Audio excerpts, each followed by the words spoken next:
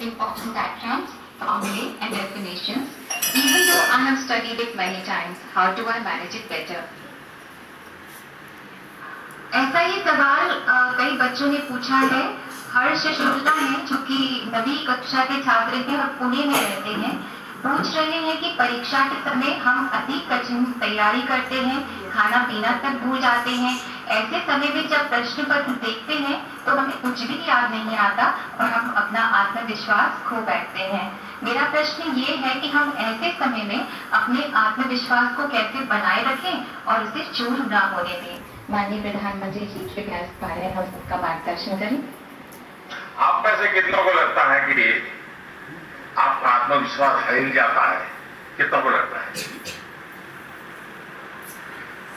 ये सवाल बहुत से बच्चों ने पूछा है।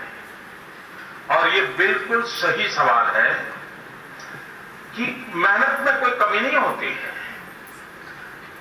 खुद ने भी मेहनत की होती है, अपने पेरेंट्स ने भी की होती है, टीचर्स ने भी की होती है।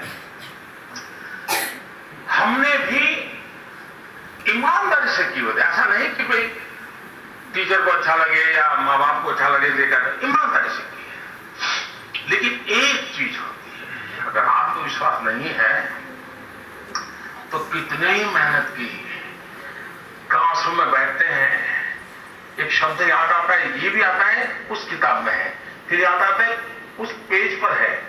फिर याद आए उस पेज की पांचवी, छठी लाइन में है। सब याद आता है, शब्द याद नहीं आता है।